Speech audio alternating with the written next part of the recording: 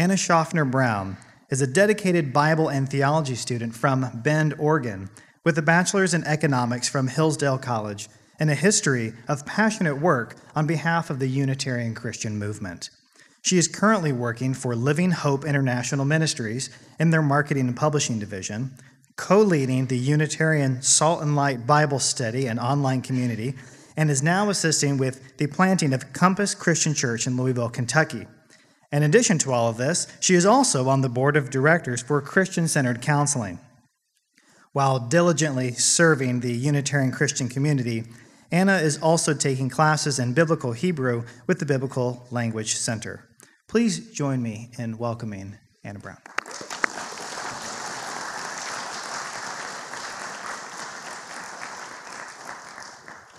This is great.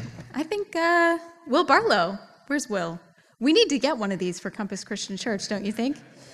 It feels like I'm driving a spaceship up here. I'm going to call it the HMS Lawrenceville. HMS stands for His Majesty's Ship, I mean, His Messiah's Ship. We're boldly going where everybody already was about 2,000 years ago. Before I begin, I would like to express my gratitude to the UCA for allowing me this opportunity. I'm so grateful. I'd also like to thank Jerry Wierwille and Dale Tuggy uh, for their help with my paper and my presentation.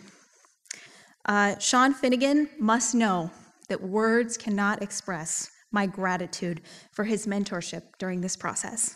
Finally, and most importantly, I'd like to thank my husband, John. He has firmly supported me in this work for the last eight months now. And John, I'm grateful for your tireless and unending encouragement. Thank you. The Apostle Paul, penning the letter to the Colossians by the Holy Spirit, records a section in praise of the risen Christ in chapter 1, verses 15 through 20. It begins like this He, Jesus, is the image of the invisible God. I'm interested tonight in this phrase. Why would Paul write this here? What does it mean? And what can it add to our understanding of Jesus? This is because Trinitarian Christians frequently level an accusation at us Unitarians where they say, You can't believe Jesus is just a mere man. But over the last century, archaeologists and scholars have discovered that in the ancient world, certain humans were described as representing the divine. I will argue this evening that with this phrase, the image of God, the Bible describes all of humanity in these terms. We will focus in particular on two figures Adam and Christ. I'll begin by defining the accusation of psilanthropism and citing a modern example. Next, we'll discuss the conclusions arrived at by theologians as they have tried to understand the phrase image of God. Then we'll journey into the ancient world to see what the biblical authors' contemporaries believed about images of gods and their relationship to the divine. By now, we will have built a biblical anthropology. So, next, we will apply it to Christ. And I will show that in the New Testament, our perspective on Adam influences our perspective on the Messiah. Finally, I will discuss the implications for Christology from a Unitarian perspective. First, let's define psilanthropism. I know what you're thinking. You're thinking, I know what a philanthropist is. It's a, uh, it's a heretic who gives away their money to charity. Rather, from the Greek roots psilos or mere and anthropos meaning man, psilanthropism is the belief that Jesus is a mere man. In all the places I've found that discuss it, psilanthropism is considered heresy. Here, some of us Unitarians struggle. We think, well, Jesus, Jesus isn't a mere man. He is special. But the term mere man here is not an accusation that Jesus is some run of the mill regular Joe. Instead, it's instead putting down a human Jesus denigrates humanity. And Trinitarians do it in the belief that humanity is too lowly to represent God. I believe that Jesus is a man and that there is nothing mere about that. Within the last century and a half, archaeologists and scholars have shown how the humanity God created was intended to rule on his behalf, representing him in and to creation.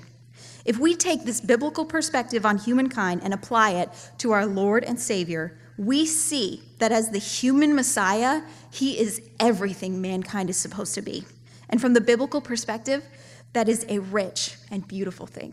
Kingdom Through Covenant is an excellent book. A year ago, I convinced Jerry Wierwille to take my copy with him to a conference and get it signed by Peter J. Gentry. So now you know something about me and the kind of person that I am. Since I disagree with Peter J. Gentry and Stephen Wellum on this point, I will quote them in a section where they explain why to them Jesus must be God. They say, quote, Scripture teaches that this Messiah is more than a mere man, since he is identified with God. How so? Because in fulfilling God's promises, he literally inaugurates God's saving rule, kingdom, and shares the very throne of God, something no mere human can do which entails that his identity is organically tied to the one true and living God. End quote. These claims are vague. To Gentry and Wellum, since Jesus, one, is identified with God, two, fulfills God's promises, and three, quote unquote, shares the throne of God, there is no other possible conclusion. He must be God. These authors conclude this section of their book with a list of accomplishments that apparently no mere man could have completed. Quote, in him, as fully human, the glory and radiance of God is completely expressed, since he is the exact image and representation of the Father. It is crucial to point out to say that Jesus has done all this is to identify him as God the Son incarnate, fully God and fully man. It is for this reason that the New Testament presents Jesus in an entirely different category from any created thing. In fact, Scripture so identifies him with Yahweh in all his actions, character, and work that he is viewed, as David Wells reminds us, as, quote, the agent, the instrument, and the personifier of God's sovereign, eternal, saving rule, end quote. Trinitarian and Unitarian Christians can agree that in Jesus, the glory and radiance of God is completely expressed. Amen. But the second claim here, that Jesus is, quote, in an entirely different category from any created thing, end quote, because he is the, quote, agent, instrument, and personifier of God's saving rule, end quote, flies in the face of the ancient Near Eastern culture in which the Bible was written. On the contrary, in the ancient Near East, kings and image statues were seen as the quote unquote agents, quote unquote instruments, and quote unquote personifiers of divine rule. And the book of Genesis gives this role to all of humanity. Despite Trinitarian concerns to the contrary, in the biblical perspective, a human being can and does serve as, to echo David Wells, quote, the agent, instrument, and personifier of God's saving rule, end quote. But before we apply the ancient Near Eastern worldview to Christ, we'll need to journey into the Old Testament and take a tour through ancient Egypt and Babylon. Don't lose heart. We will make it back to the New Testament as we bring these ideas to bear on Christ. In the Hebrew scriptures, humankind is referred to as the image and likeness of God at three instances, all in the first chapters of Genesis. Each time, the significance of the statement though perhaps not its meaning, is apparent. The first thing God says about humanity is let us make man in our image after our likeness here in Genesis 1:26. The next two uses of the phrase summarize God's creation in chapter 5 verse 1 and clarify the gravity of murder in chapter 9 verse 6. The relative scarcity of image of God texts, coupled with the idea's massive significance, have led to centuries of theologians trying to speculate what it could mean. Comments Hendrikus Berkhof, quote, by studying how systematic theologies have poured meaning into Genesis 1:26, one could write a piece of Europe's cultural history, end quote. What Berkhof means, of course, is that theologians, with scant textual evidence to exegete the phrase image of God, have instead used the anthropology in vogue during their lifetime to build an interpretation. Let's do a brief tour through history. Irenaeus, Clement of Alexandria, and Athanasius seem to have ascribed to a theory about the image of God that's sometimes referred to as divinization. That is, It's a partaking of the divine nature through salvation. Augustine famously posited that in the same way that God, he thought, is a trinity, so each human being must have been created in the image of the Trinity too. He settled on memory, intellect, and will as the three components of each three part human. How do you feel about that, friend? Do you, uh, do you feel like a Trinity tonight? Other theologians didn't either. Martin Luther settled on obedience to God as the meaning of the image of God, meaning that you could be more or less the image of God depending on your conformity to his will. Finally, in our time, postmodern Christianity tends to posit that we are the image of God only in our relationships with others. Stanley Grenz represents this perspective when he says, quote, "The image of God does not lie in the individual per se, but in the personality of persons in community." End quote. You, my friend, are not made in the image of God, but perhaps your family or your community or this group of people is. In short, without more biblical or archaeological data, thinkers have found it impossible to know what the book of Genesis means when it says that a man is made in the image and likeness of God. And for these theologians, the necessary source material had not yet been discovered. That is, until the last century and a half. J. Richard Middleton, in his book, The Liberating Image, the Imago Dei in Genesis 1, evaluates a 1988 doctoral dissertation by Gunnlaugur A. Johnson, saying that it, quote, shows that the degree of consensus among Old Testament scholars is close to unanimity, end quote. Old Testament scholars are almost all on the same page about the image of God. But what is that page? According to Middleton, the consensus takes two factors into account First, royal aspects of the biblical creation account. Second, the ancient Near Eastern thought world behind image of God language. The royal tone is found first in Genesis 1 26 through 27. It reads, quote, Then God said, Let us make man in our image after our likeness, and let them have dominion over the fish of the sea, and over the birds of the heavens, and over the livestock, and over all the earth, and over every creeping thing that creeps on the earth. This is the first statement about God's creation of humanity. It is composed of essentially two parts. First, mankind is to be made in God's image and likeness. And second, mankind is to have dominion over all the earth. Many Hebrew scholars believe the second is the function of the first. David J. A. Clines writes in his article Humanity as the Image of God, quote, Genesis 1:26 may well be rendered, let us make humanity as our image so that they may rule, end quote. Clines justifies this reading by pointing out that the Hebrew text vav, or and, can carry the force of so that. Gentry and Wellum concur. They write, quote, the correct translation, therefore, is let us make man so that they may rule, end quote. A similar text may prove illustrative. Clines points to the creation of the sun and the moon in Genesis 1 16 through 18. It goes, quote, And God made the two great lights, and God set them in the expanse of the heavens to give light on the earth, to rule over the day and over the night, and to separate the light from the darkness, end quote. Here, the creation of the two great lights is immediately followed by their purpose, their function, what they do.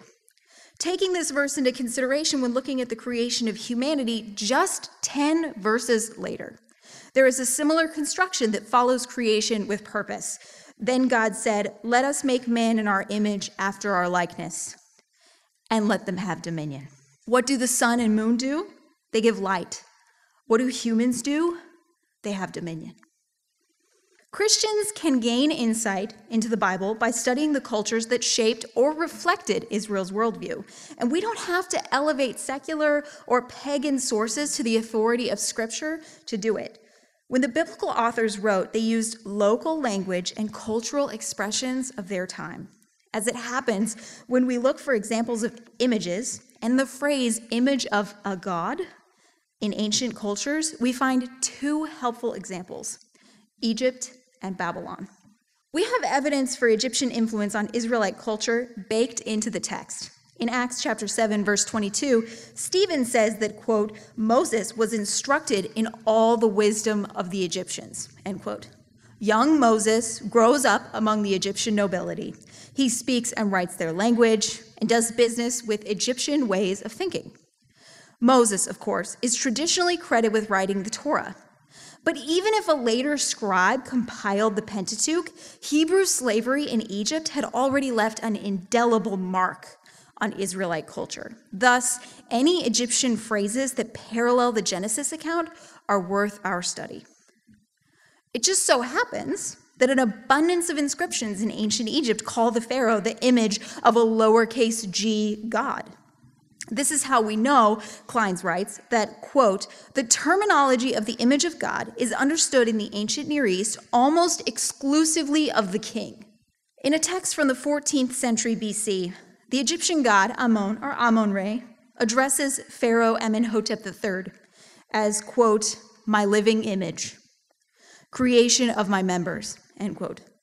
Note that this text not only refers to the king as the image of his God, but it also seems to establish some kind of procreational relationship, as if the God birthed him. Now, listen to this next one. A text from the same period has the same God address the Pharaoh. Quote, You are my beloved son, who came forth from my members, my image, whom I have put on earth. I have given to you to rule the earth in peace. End quote. I was surprised when I first encountered these phrases, which to my ear sound like the Bible in an ancient Egyptian text. But the new kingdom of Egypt is replete with similar references to the Pharaoh. They serve rhetorically to elevate the Pharaoh to the status of representative of the Egyptian pantheon. Please note the dates of these inscriptions. They fall within the currently accepted approximately two century date range for the Exodus, which means that we can know with some certainty that the enslaved Hebrews lived in a world where people spoke like this. I counted 55 occurrences of the phrase image of God with reference to a pharaoh that occur within the early and late dates for the Exodus event. If we include Hatshepsut, who reigned in the decades before the earliest Exodus date, the phrase is used 59 times. And these are just the inscriptions, steles, and texts that remain to this day. Take a look at this chart. The text may be a little small, but it represents nine pharaohs who ruled between the beginning of the 15th and end of the 13th century BC by how many times they're referred to as the image of a god in the Egyptian pantheon. Note our most impressive, Amenhotep III. Archaeologists have found 18 instances of the phrase image of lowercase god that refer to him. What's most notable about this timeline is that it represents the majority of the pharaohs from this time period, each referred to as a god's quote unquote image. This Egyptian inscription shows a functional aspect to this relationship. Quote, while you, Amon, are in heaven and illuminate the world, he, Amenhotep III, is on earth to carry out your kingship. End quote. From the perspective of the royal cult, this pharaoh's kingship was literally enacting the rulership of the Egyptian god, but on earth instead of in heaven. In Egyptian dynasties centuries before these inscriptions, so before the earliest Exodus date, pharaohs did not claim to be the image of a god. No, no. They said that they were the god's physical incarnation, the god himself. But texts like this one demonstrate both a close relationship and a distinction in the Egyptian mind. See, in this text, Amenhotep III is a close relative to this lowercase g god Amon, but not necessarily Amon himself. Middleton summarizes this representative aspect, quote, in ancient Egypt, as the deputy and representative of the god on earth, the king's exploits were the god's exploits, end quote. Curtis says, quote, the fact that the king is described as the image of God seems to presuppose his creation or procreation by the God, end quote. That is to say, to be the image of a God was equivalent to being the son of the God. Hang on to that. This aspect of image of God language will come to light when we talk about the Gospel of Luke. But let us return to the biblical account. Humanity's creation in God's image, especially in light of the dominion mandate that immediately follows, communicates that Adam and Eve are to do for Yahweh what Amenhotep III supposedly did for his God. Humans carry out Yahweh's rulership on earth. Now, Genesis doesn't just copy Egypt's ideas about the king's relationship to the divine. No. It responds to and critiques the ancient Near Eastern conception of the image of a God, first by democratizing it. In Genesis, the entirety of humanity is made in God's image, not just the king. Second, where some early pharaohs and other ancient Near Eastern depictions of kings as the image of God imply that the king is the literal incarnation or some kind of avatar of that God, the Genesis text makes it clear Adam and Eve are created beings, they are not Yahweh himself. Scholars frequently use the word viceroy to describe this kind of rulership, and that's apt here. According to the Oxford Dictionary, a viceroy is a ruler exercising authority in a colony on behalf of a sovereign. And that is exactly what Adam and Eve are doing. They are not Yahweh, they are created beings. They do, however, rule in his world on his behalf. Klein says that to have a mortal being represent the Creator to his creation allows God to be immanent without compromising his transcendence.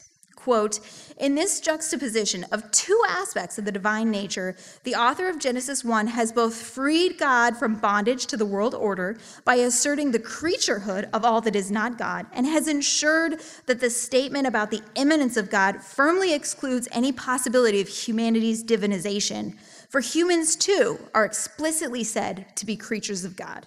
End quote. This author goes on to say that through the creation of Adam, quote, in a sense, the word becomes flesh. The word calls the creation into existence, but the image of God is the permanent link between God and his world, end quote. According to Clines, Adam's clear status as a created being precludes any claim that he or all humanity is God incarnate. In or in our context, a member of the Godhead. Rather, mankind represents God to creation. Psalm 8 elucidates the biblical worldview on the creation of man. Let's read verses 4 through 8 together. What is man that you are mindful of him, and the Son of Man that you care for him? Yet you have made him a little lower than the heavenly beings and crowned him with glory and honor. You have given him dominion over the works of your hands. You have put all things under his feet all sheep and oxen, and also the beasts of the field, the birds of the heavens, and the fish of the sea, whatever passes along the paths of the seas. Gentry and Wellum comment on this section, saying, quote, Verses 5 through 8 constitute a word by word commentary and meditation on Genesis 1 26 through 28. Psalm 8, 6 through 8 details and unfolds the rule of mankind specified in Genesis 1:26b. It is clear and obvious that the psalm writer has the text of Genesis 1:26 before his mind. Note in particular that the terms in Hebrew for crown, glory, and honor are all royal terms. This shows that the psalm writer understood image to speak of royal status. End quote. Let us turn to Babylon. It's difficult to find many texts from ancient Mesopotamia, period. Middleton says, quote, the geographical region corresponding to ancient Mesopotamia is notorious for the relative rarity of manuscript finds, end quote. In fact, Edward Curtis, in his masterful doctoral dissertation, could only find five explicit uses of the phrase image of God throughout five centuries of Mesopotamian history. Middleton generously counts seven. Nevertheless, almost all of these Neo Assyrian inscriptions portray the king as the image of God, and notably, one of them designates a priest as the image of God. It's the directions for an incantation to drive away sickness. And it reads, quote, the incantation is the incantation of Marduk. The incantation priest is the Salmu, image of Marduk, end quote. Here, the priest stands in for the pagan deity as image, he performs an incantation on the god's behalf. Note that the word for image, salmu, is a cognate of the Hebrew equivalent, tselem. Let's talk about the biblical picture of mankind as priests. To moderns, Adam and Eve's duties in the Garden of Eden can seem demeaning. They came into this world to be what? Gardeners? But textual hints show that Genesis is describing the Garden of Eden as a sacred space. Gentry and Wellum draw parallels between the Garden of Eden and the Jewish temple to argue that Eden, too, was where God dwelt and ruled. Daniel Lioy, in his article, The Garden of Eden as Primordial Temple or Sacred Space for Humankind, he put it all in the title, guys. You know what his thesis is.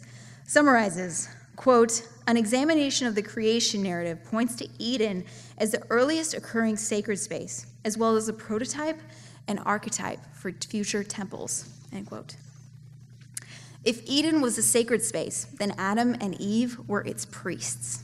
God's directions to work and keep the Garden of Eden use the same Hebrew verbs that describe the work of the temple priests in Numbers 3 7 through 8, 8 26, and 18 5 through 6. Genesis 2:15 reads, quote, "The Lord God took the man and put him in the garden of Eden to work it and keep it."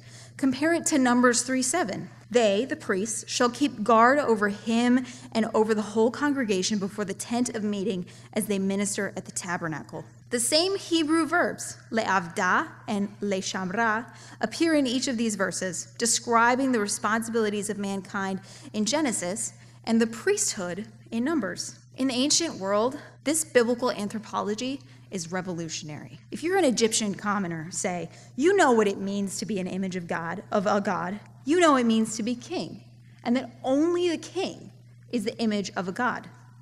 And then you encounter Yahweh. Reading the Hebrew scriptures, you see that in Genesis 1, the most high creator, not just any God, the most high creator, made all of humankind in his image. This means that you too were made to represent Yahweh. What kind of dignity does that give? And not just for you, but for your servants, for your sisters and brothers, your children, all were made with this dignity. The Hebrew scriptures not only honor humanity, they challenge you to honor and respect your fellow humans in a way that is different from every other religion and culture in the then known world. The fact that Babylon has fewer examples of image of God texts than Egypt presents a small problem for bringing this idea to bear on our Christology. Because Israel was in Egypt over a millennia before the birth of the Christ and the writing of the New Testament. As we approach the time of the New Testament, we need to know what people thought of the image of God in the first century. Let's read an anecdote about Hillel, a rabbi who lived at about the same time as the Christ's ministry. Quote, Hillel the elder, at the time that he was departing from his students, would walk with them. They said to him, Rabbi, where are you walking to? He said to them, To fulfill a commandment, to bathe in the bathhouse. Just like regarding the statues or icons of kings that are set up in the theaters and the circuses, the one who is appointed over them bathes them and scrubs them, and they give him sustenance. And furthermore, he attains status with the leaders of the kingdom. I, who was created in the divine image and form, as it is written, for in the image of God he made man even more so. Hillel interpreted the image of God by comparing himself to a king's statue. This first century contemporary of the Christ considered physical images as a parallel to the image of God. Thankfully, despite the relative scarcity of later Babylonian texts about an image of God, physical images of gods, that is, idols, were ubiquitous in nearly all the cultures surrounding Israel. Most of the later Old Testament occurrences of the Hebrew word rendered image in Genesis, tselem, refer to idols. And so, perhaps it's ironic, any serious study of biblical anthropology should include idols. Though the phrase image of a god is relatively scarce in Babylonian texts around the time of Israel's captivity there, images in the form of literal idols abounded. Cult images in Mesopotamia, says Middleton, were first made in a workshop and then consecrated, quote, by means of an elaborate ritual, typically known as the mouth washing or sometimes the mouth opening ritual, end quote. Idols in Mesopotamia were thought to be alive because they contained some refined material from the god called fluid, spirit, or breath, animating them to become the living representative of a divine being. Perhaps this has something to do with Genesis chapter 2. Quote, Then the Lord God formed the man of dust from the ground and breathed into his nostrils the breath of life, and the man became a living creature. End quote. Do these ideas reflect each other? Does Genesis use commonly accepted ancient rituals around idolatry to tell us that as an idol statue is to its God, so humankind is to Yahweh? A type of image common to the ancient Near East that we seldom hear in this discussion is statue images of kings, which represented the authority of the king. Ancient kings left statues of themselves in territories they conquered. So, say if you're an Assyrian king and you just conquered a new city, the first thing you're going to do is have an image of yourself set up in that land. The big statue says, I'm Ashurbanipal, and I own this place. A similar significance of images is found in the Roman Empire that forms a cultural backdrop to the New Testament. Morton Warmond writes, quote, the significance of the picture of the emperor can be illustrated by the fact that all depictions of the emperor were cult images and therefore sacrosanct. At the foot of the emperor's statue, a person was unpunishable. When a slave was sold, the seller was obliged to inform the prospective buyer about whether the slave had ever run to an image of the emperor. For our Christology, we can note that no one believed that an image of Caesar was Caesar himself, but that any statue rep- image of Caesar represented the emperor and his authority in all the Roman Empire was assumed to be fact. Another note about physical images without the figure they represent, they're worthless. Where, were Caesar to die or to be defeated, his statue would mean little. Certainly, it wouldn't be revered. In the same way, without God, humanity and Christ are without value. Only the thing that it represents gives meaning and significance to the image. Jews living in the first century cultural context would be surprised at the modern American paucity of real life examples of images.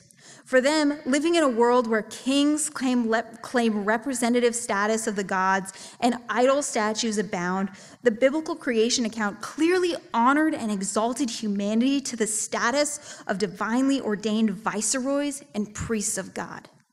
In sum, Middleton writes, quote, the imago Dei, or image of God, designates the royal office or calling of human beings as God's representatives and agents in the world, granted authorized power to share in God's rule or administration of the earth's resources and creatures, end quote. But what does this have to do with the price of bread? Who cares what Amenhotep III thought about himself and his pagan gods? What does it matter if Eden was a temple since we don't live there? In the New Testament, writers both designate Christ as the image of God and compare Jesus to Adam, both explicitly and implicitly. Let us return to Colossians, where Paul writes, quote, He, Jesus, is the image of the invisible God, the firstborn of all creation, end quote. What did Paul mean when he called Jesus the image of the invisible God? Colossians is not just using flowery language. This phrase is deliberate. When Paul applies image of God language to Jesus and uses the same designation given to Adam and Eve in the creation account, he uses terminology familiar to readers of the Hebrew scriptures to categorize Jesus as a member of the human race, even as in context, he exalts him to the apex of it. The Theological Dictionary of the New Testament points out that the statement is deliberate. Quote, Paul equates Christ with the Adam intended in Genesis 1:27. End quote. Let's imagine for a moment that you are recording a poem about the Christ and your big goal is to prove that Jesus is God. Indeed, that he must be. Isn't that kind of a lame start? Clearly referring to Jesus with the same designation given to the first humans, anyone in ancient Israel would recognize that an image of a god or king represents or stands in for that god or king. In the same way, Jesus represents God on earth. Indeed, he must. Paul emphasizes God's transcendence, and with it, the need for a representative with the word invisible. In one phrase, he not only tells us that Jesus is God's representative, but why? For us, this text should now call to mind an earlier Egyptian text. Remember, while you, Amon, are in heaven and illuminate the world, he, Amenhotep III, is on earth to carry out your kingship. When Paul calls Jesus God's image, he is classifying him as the immanent representative of the transcendent God. Here, the New Testament illustrates Jesus as the one vested with God's authority, designated and empowered to represent him to the parts of the world under God's control.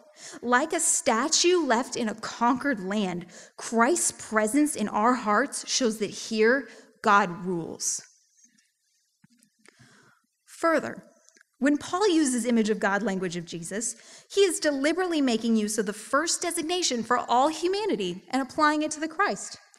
Explicit New Testament, New Testament, comparisons between Jesus and Adam show just as Adam was the first progenitor of humanity, Paul thinks of Jesus as the progenitor of a new kind of human race.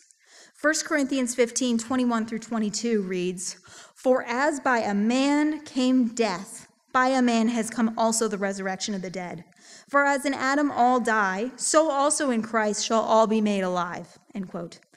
Paul does not compare a divine Jesus to a mere man Adam. On the contrary, the similarity between them is explicit. Paul refers to Adam and Jesus, each as a man, without apology. To Paul, the difference between the two is outcome. In Adam, all die, but in Christ, all will be made alive. A similar comparison takes place in Romans. Quote, Death reigned from Adam to Moses, even over those whose sinning was not like the transgression of Adam, who was a type of the one who was to come. For if, because of one man's trespass, death reigned through that one man, much more will those who receive the abundance of grace and the free gift of righteousness reign in life through the one man, Jesus Christ. End quote. That's Romans 5, verses 14 and 17. In the first verse quoted here, Adam is the quote unquote type of the one who was to come, referring to Jesus. The word rendered type in the ESV is the Greek word tupos, and it means type, die, pattern, print, or stamp.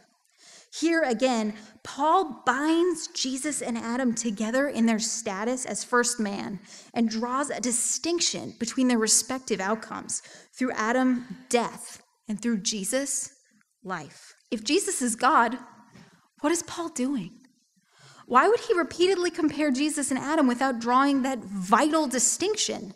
If we are offended to think that Jesus and Adam can be compared, we should check our hearts, not worrying that we denigrate Jesus, but searching to find if we adequately appreciate the humanity God created to bear his image. It isn't just Paul who draws comparisons between the two figures. The author of Hebrews interprets Psalm 8, the royal psalm we read earlier, by applying it to the Christ in chapter 2, verses 5 through 9, concluding, quote, We see him who for a little while was made lower than the angels, namely Jesus, crowned with glory and honor because of the suffering of death, so that by the grace of God he might taste death for everyone, end quote. This is not an explicit comparison. It specifically names Jesus only not Adam. But to apply to Jesus a meditation on the creation of the first humans is certainly an implicit comparison between the two figures. And it shows that the New Testament mind sees Jesus as embodying and fulfilling God's design for that first human. Another implicit comparison, perhaps the most intriguing, occurs in Luke. The evangelist notably bestows the title Son of God on two individuals. Of course, Jesus receives the appellative multiple times in this gospel, but Adam too is called the Son of God in Luke. His designation is found in Jesus' genealogy, which goes backwards from Jesus all the way to creation. The genealogy concludes, quote, the son of Enos, the son of Seth, the son of Adam, the son of God, end quote. Gavin Ortlund, in his article, Image of Adam, Son of God, argues that Genesis 5 3, where Adam fathered a son in his own likeness after his image and named him Seth, draws a parallel between Adam and God on the one hand and Seth and Adam on the other. If Seth, in God's image and likeness, is his son, then Adam, in God's image and likeness, must be God's son too. Trinitarian commentators struggle with this detail in Luke. Why would the evangelist call Adam the Son of God immediately following Jesus' baptism? where a voice came from heaven You are my beloved Son, with you I am well pleased, some 15 verses prior. Referring to Adam by one of Jesus' titles, especially in such close proximity in the text, seems to make a comparison between Jesus and Adam. From a Trinitarian perspective, Luke 3:38 presents a problem because Adam cannot possibly be a member of the Godhead, but Jesus is supposed to be God. But Unitarians are in a uniquely privileged position to understand the verse. And indeed, Luke's intention in applying the same moniker to both Jesus and his ancestor. In the greater scriptural narrative, Adam and Jesus are described as fulfilling analogous roles.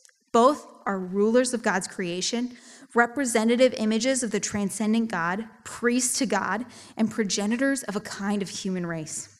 God designed each of them to live in covenant with Him and carry out His authority. In biblical scholarship, a shift in understanding the image of God has taken place almost entirely within the last century.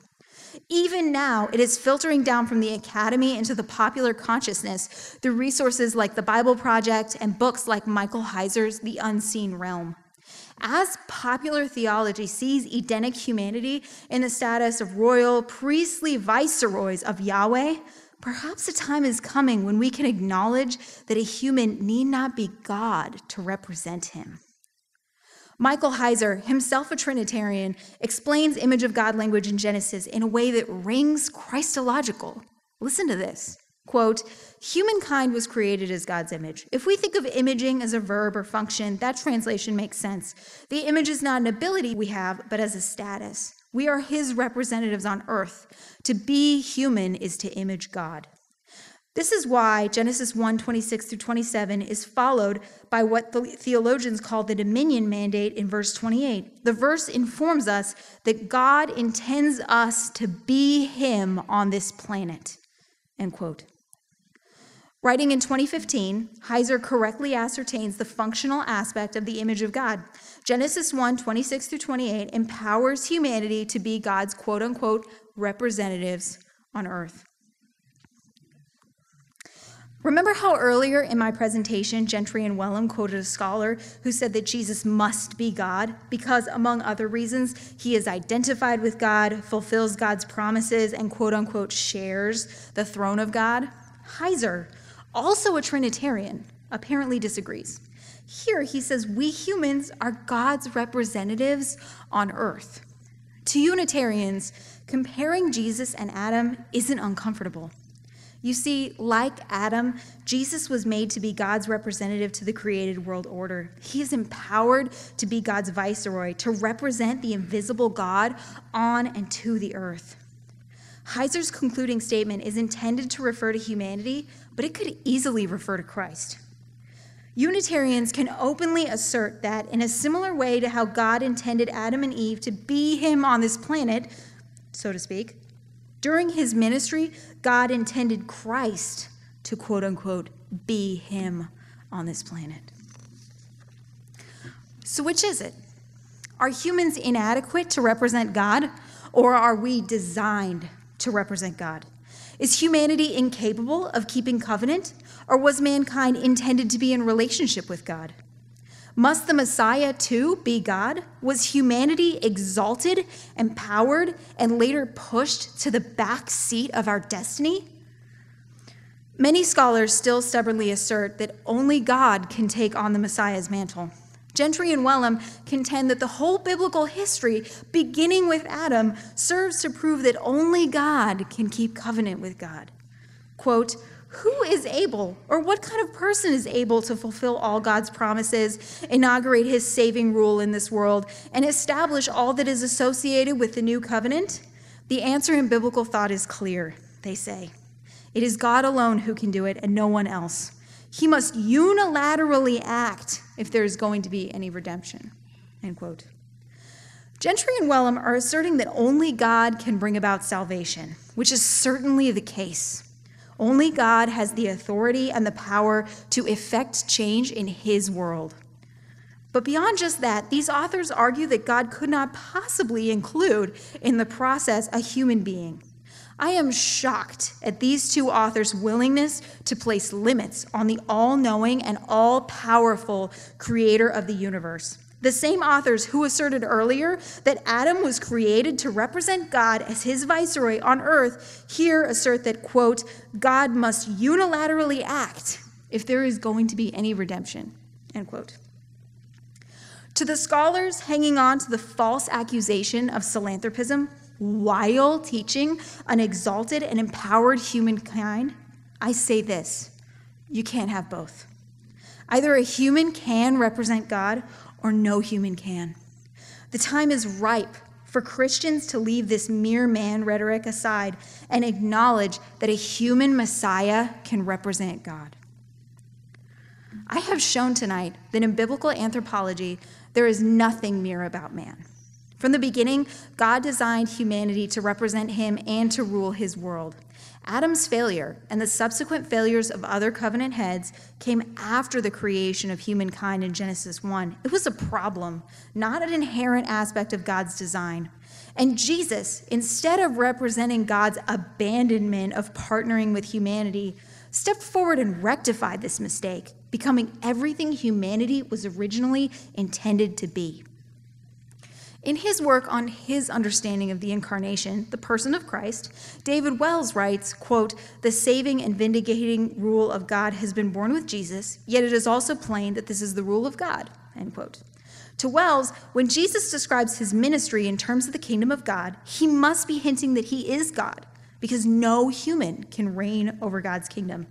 But in the ancient Near Eastern mindset, even a statue could stand in for the authority of a God. How much more could a human image of God represent Yahweh? Ancient Near Eastern parallels show us that the language of the Genesis creation is filled with significance. Mankind was designed to rule over and represent God to creation. Adam and Eve were further intended to fulfill the role of priests in God's cosmic, primordial temple space. In light of this elevated initial status of humankind, Christians should not be surprised when later New Testament texts explicitly and implicitly compare Jesus and Adam, nor should we fear classifying Jesus as a man. I hope that tonight I have armed you with a perspective to respond to accusations that your beliefs denigrate Jesus. When someone asks you, How could you possibly believe Jesus is just a human? You can talk to them about ancient Egypt, point them to this presentation, or send them to resources more in their sphere, like the Bible Project, to show them that the role of humanity was intended to and that Jesus does fulfill. Recognizing that a human being can and does represent God is not inappropriate, it's biblical. And with this tool, I'd like to offer you a challenge. What did Uncle Ben say? Oh, yeah. Uncle Ben said, with great knowledge comes great responsibility. Now that you, now that you have this information, I challenge you not to let it lie. During this conference, you've sat through presentations, you've met with fellow Unitarians, and I pray that your time has been blessed. There's more to come. As you return home from this time, consider in your heart what is the conversation I can have, the person I can invite, the friend to whom I can offer a resource? Where are you calling me, God, to open this conversation? And when you next hear an accusation that Unitarians believe in a mere man, Jesus, remember if limited corporeal humanity was created to serve as kings and priests to God, there is nothing mere about man.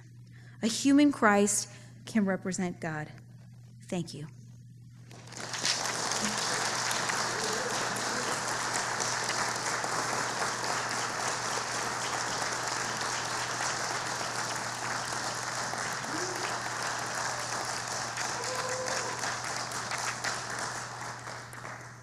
Excellent. Thank you, Anna, for that insightful presentation.